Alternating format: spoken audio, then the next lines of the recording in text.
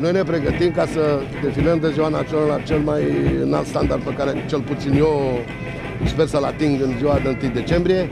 Avem anul acesta aproximativ 2800 de militari, 280 de mijloace, 40 de aeronave, 55 de cai. Ca tehnică sunt câteva mijloace noi, Uh, mijloacele de aviație sunt mai numeroase decât anul trecut cu patru. La detașamentele pe jos avem detașamentul de gardă al Ministerului de Interne care o să încheie coloana care defilează pe jos.